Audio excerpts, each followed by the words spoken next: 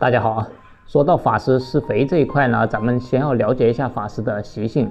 法师它是一种快速生长、快速休眠的植物。这种多肉呢，它和常规的多肉还不太一样。咱们的一般的多肉肥嘟嘟的，它夏天休眠也不是太明显。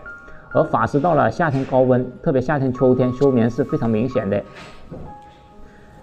我这边这棵温度太低了，这叶片都已经冻得有点发软。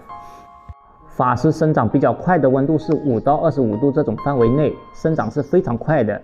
在条件具备的时候，特别土质啊里面肥比较足嘛，生长特别快。尤其咱们土里面放的那种有机肥，有机肥加上疏松的土壤，它长得是最快的。有的人可能会说，我用缓释肥可不可以？网上不是很多卖那种黄色的颗粒吗？那种肥呢，你对于老桩长得不想让它再长的施一些肥可以。但对于咱们想让它长得更猛烈的这种又爆头非常多的这种是不适用的，因为那种肥太慢了。对于土质非常久、非常结板的那种，这种比较老的桩，咱们又不想换盆换土的，即便你放了缓释肥吧，它效果也不是太明显。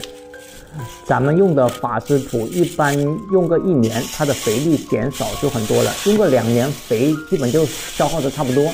这个时候你可以考虑给它换盆换土，或者你重新给它捣鼓一下，嗯，移栽怎么都行啊。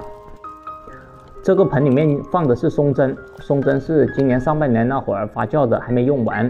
松针也是非常好的，而且还不要钱，去外面弄回来就行了，发酵好拌在土里面。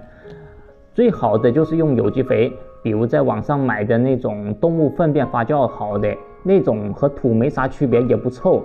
介意的可能就不要考虑了，不介意的用那种就合适。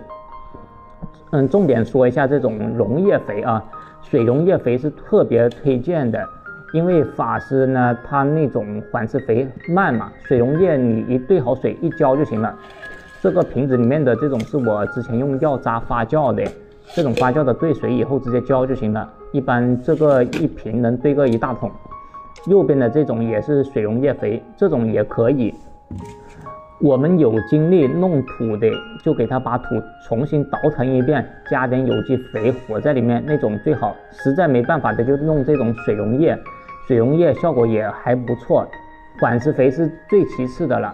家里面如果有啊，那你弄一点也没关系。特别是那种桩非常老的嘛，我放点给它稍微有点营养就行了，因为我也不需要它生长。